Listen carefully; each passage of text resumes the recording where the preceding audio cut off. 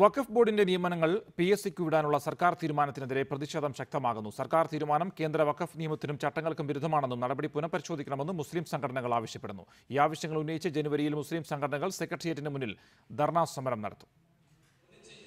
മുന്നോക്ക സമുദായങ്ങൾക്ക് നിയമനങ്ങളിൽ പത്ത് ശതമാനം സംവരണം ഏർപ്പെടുത്താനുള്ള സർക്കാരിന്റെ തീരുമാനം കേരള പബ്ലിക് സർവീസ് കമ്മീഷന്റെ പ്രവർത്തനത്തെ പ്രതികൂലമായി ബാധിക്കുമെന്നും ഇത് സംഘടനാ ലംഘനമാണെന്നും മുസ്ലിം സംഘടനാ നേതാക്കൾ ആരോപിക്കുന്നു.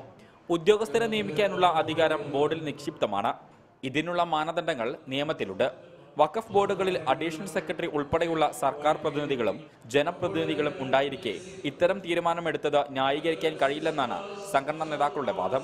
ഇരട്ട നീതി എന്നുള്ളത് പറ്റൂല. ദേവസ്വം ബോർഡിലെ പതിനായിരത്തിൽ ചില്ലറ നിയമനങ്ങൾ അത് പി എസ് സിക്ക് വിടാൻ തീരുമാനിച്ചു. കൂട്ടത്തിൽ വഖഫ് ബോർഡിലെയും വിട്ടു.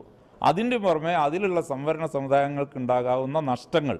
ഇതൊക്കെ കണ്ട് അവർ ശ്രദ്ധയിൽപ്പെടുത്തിയപ്പം ഗവൺമെന്റ് ഒരു പ്രക്ഷോഭം ഇല്ലാതെ ഇന്ന് പിന്മാറിയല്ലോ.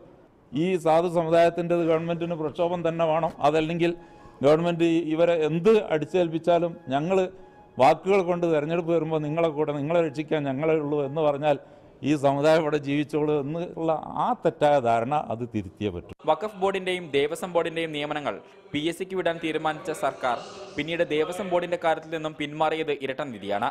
നിയമനത്തിൽ ഏതെങ്കിലും ഒരു സംസ്ഥാനം ഇടപെടലുകൾ നടത്തിയാൽ മറ്റ് സംസ്ഥാനങ്ങളും അതിന് തയ്യാറാകുമെന്നതാണ് തീരുമാനത്തെ എതിർക്കാൻ പ്രധാന കാരണമായി സംഘടനാ നേതാക്കൾ ചൂണ്ടിക്കാട്ടുന്നത്.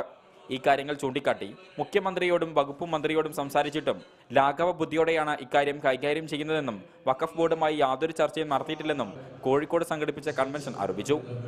റിപ്പോർട്ടർ കോഴിക്കോട്.